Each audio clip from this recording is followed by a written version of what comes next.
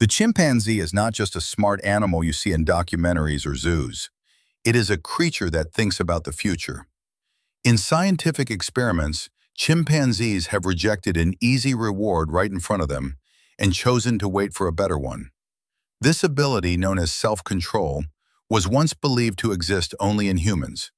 The chimpanzee doesn't calculate the moment, it calculates what comes next.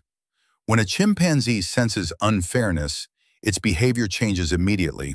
It may refuse to cooperate, almost as if it is punishing the other for being unjust, not out of anger, but out of understanding.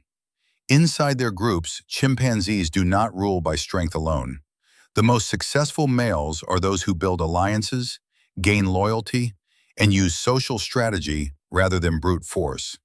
Even more surprising, chimpanzees plan their hunts in advance, hiding tools and keeping them for hours, sometimes days, until the right moment arrives.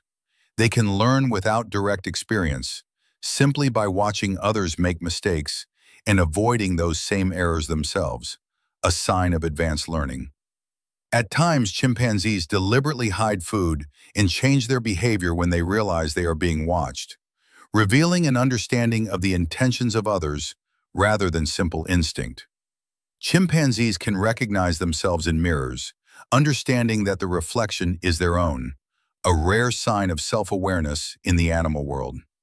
Within the group, mistakes are not always punished with violence. Sometimes the punishment is social isolation, a response that can be psychologically more damaging than physical pain.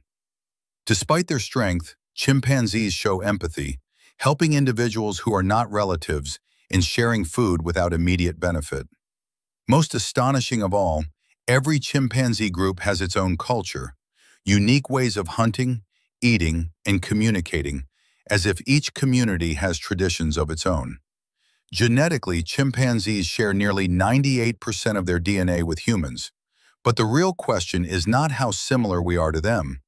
It's how much of what we call human began there.